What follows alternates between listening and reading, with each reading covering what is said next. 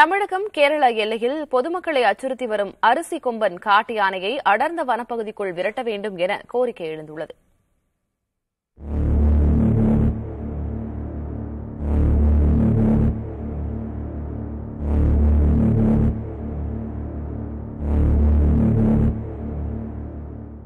கேரள மாநிலத்தின் மூணாறு மற்றும் சுற்றுவட்டார பகுதிகளில் கடந்த முப்பத்தி நான்கு ஆண்டுகளாக அட்டகாசம் செய்து வரும் அரிசி கொம்பன் என்ற ஒற்றை காட்டு யானை தற்போது தனது அட்டூழியத்தை மீண்டும் தொடங்கியுள்ளதால் பொதுமக்கள் விவசாயிகள் அச்சமடைந்துள்ளனர்.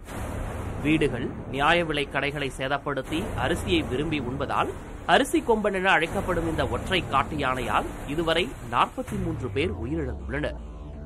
இரண்டாயிரத்து பதினேழாம் ஆண்டு அரிசி கொம்பன் யானையை பிடிக்க கேரள உயர்நீதிமன்றத்தில் விலங்கு நல அமைப்பு தடை வாங்கியதால் அதன் அட்டகாசம் இப்பகுதியை அவ்வப்போது அதிர வைத்துக் கொண்டே இருக்கிறது.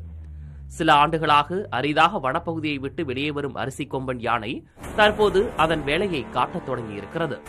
சமீபத்தில் வனத்துறை ஊழியர் ஒருவரை தாக்கி கொன்ற நிலையில் இந்த செய்தி அறிந்த விவசாயிகள் தோட்டத் தொழிலாளர்கள் பொதுமக்கள் உயிர் பயத்துடன் உள்ளனர்.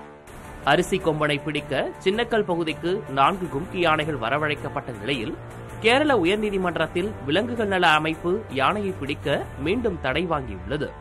இதனால் அதிர்ச்சி அடைந்துள்ள விவசாயிகள் தோட்ட தொழிலாளர்கள் பொதுமக்கள் அரிசி கொம்பன் யானையை பிடிக்க கோரி ஆர்ப்பாட்டத்தில் ஈடுபட்டுள்ளனர்.